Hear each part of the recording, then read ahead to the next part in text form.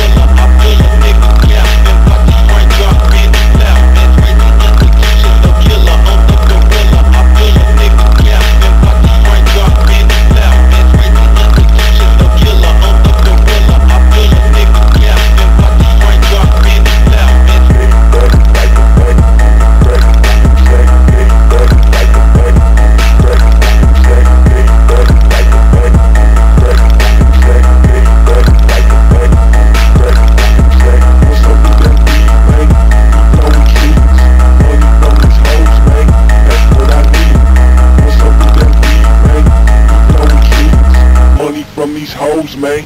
That's what I need.